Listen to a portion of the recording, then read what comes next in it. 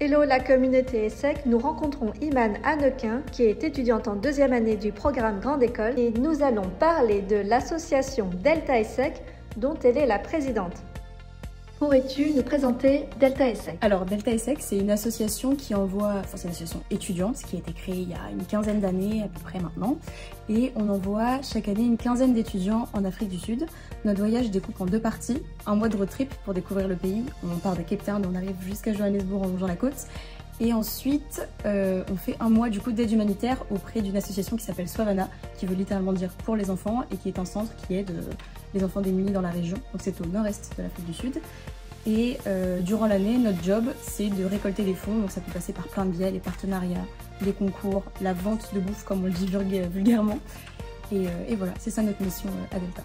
Vous avez fait un super voyage combiné à une mission humanitaire. Et quelles ont été concrètement vos actions? Alors pour la mission 2023, on a repris une partie de la mission de 2022 qui était de continuer à construire l'enceinte du mur du centre. Il y en avait seulement un de fait en béton et du coup on a fait les trois autres. Euh, on a aussi fait une sorte de ce qu'on appelait un pavement, une sorte de trottoir pour le centre pour éviter les éboulements de terrain quand il pleut là-bas en hiver. Et on a aussi donné des cours d'anglais dans l'école primaire euh, de, de, la communauté où on était. Dans vos actions, quel a été l'impact social auprès de ces enfants? Alors il y a eu des impacts à plusieurs échelles. Le premier, c'est quand même un impact assez symbolique de se dire que maintenant le centre a une enceinte. C'est aussi une question de sécurité parce que des gens pouvaient rentrer, des animaux pouvaient rentrer pour manger par exemple la nourriture des bénéficiaires, ce qui est quand même pas l'objectif du centre. Donc il y a quand même toute cette portée symbolique d'ancrer le centre de Swavana et de garantir la sécurité de tous les gens qui y travaillent et qui bénéficient des soins du centre. Mais cette année, on a aussi fait un don de plusieurs milliers de randes pour pouvoir payer une déclaration de naissance et euh, des papiers à un jeune qui s'appelait Bouclé, qui est un jeune qu'on a rencontré là-bas. Et en fait, sans ces papiers-là, il pouvait pas continuer ses études de médecine. Donc du coup, en lui offrant ça, on a pu en fait lui offrir l'accès à l'éducation supérieure. Et ça, on en est très fiers. Pour 2024, quels sont vos projets? Alors pour la mission 2024, euh, déjà notre job à nous c'est de constituer les étudiants qui partiront et de choisir cette nouvelle promotion.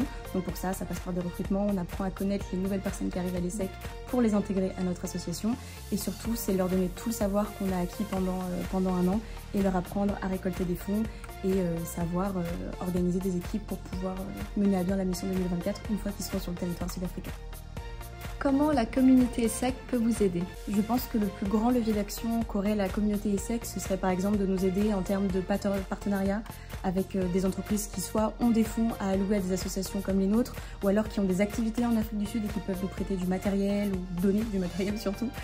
Euh, ce serait franchement une aubaine pour nous. Merci beaucoup, Iman, d'avoir participé à notre interview et un grand bravo à Delta ESSEC. Merci à toi, Nathalie.